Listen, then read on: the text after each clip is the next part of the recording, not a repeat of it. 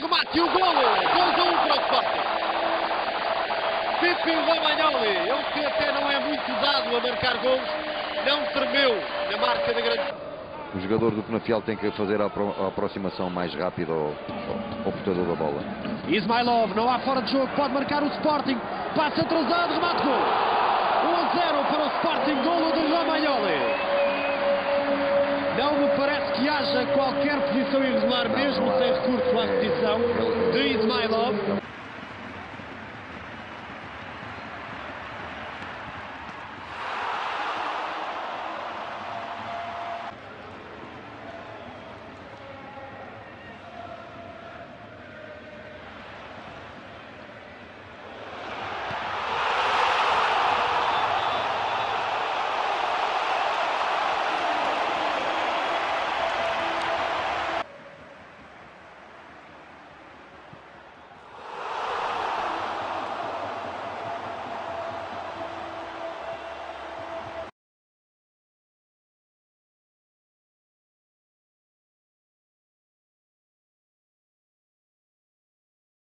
Aos 55 minutos, Romagnoli inaugurou o marcador.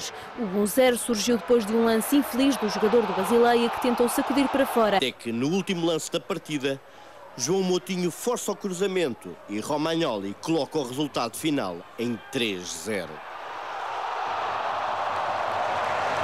O empate.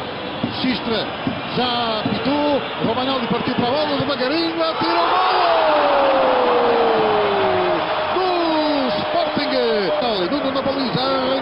Nuno